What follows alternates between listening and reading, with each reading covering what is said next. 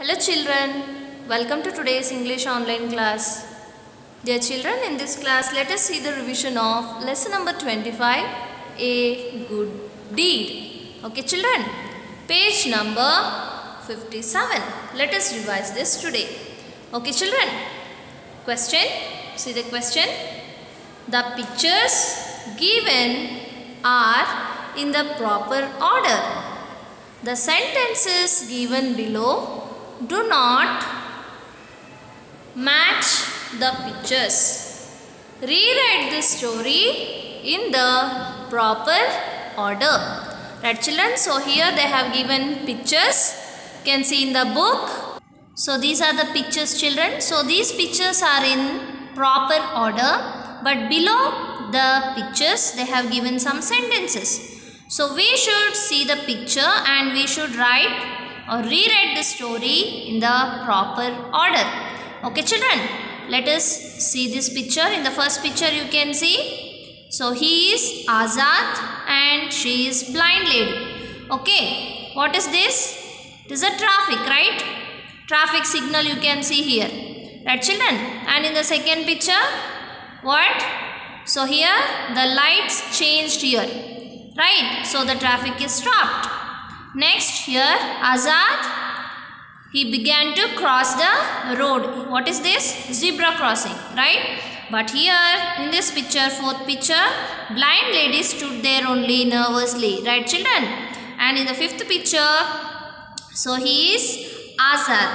Azad went and took this blind lady's hand. You can see now in the picture. And in the last picture, in the sixth picture, you can see he then helped her to cross the road. Azad helped this blind lady. Right children? So let us write in proper order. Let us write this story in proper order. You can see the sentences below. Let us see the sentences. Here first one you can see. When the lights changed, the traffic stopped. Below that, but the blind lady stood just stood there nervously. Next sentence.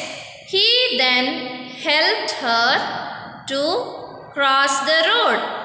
Next sentence. Azad and a blind lady were waiting at the signal. Next sentence. Azad went and took her hand. And the last sentence, Azad began to cross. So these are the sentences. We should write correct sentences now. Okay, we should write, rewrite the story in proper order. So in the first picture you can see Azad and blind lady were waiting at the signal, right children? So this sentence will be the first sentence of the story. Okay children. Next what happened? When the lights changed, the traffic stopped. Here it is, right? When the lights changed, the traffic stopped. So this is the second sentence. Right children? Next, the third picture you can see. Azad began to cross the road. Right children? So this sentence will be the third sentence of the story. What is that? Azad began to cross. And in the fourth picture you can see. But the blind lady just stood there nervously. Right children? So this will be the fourth sentence of the story. What is that? But the blind lady just stood there nervously. Right children?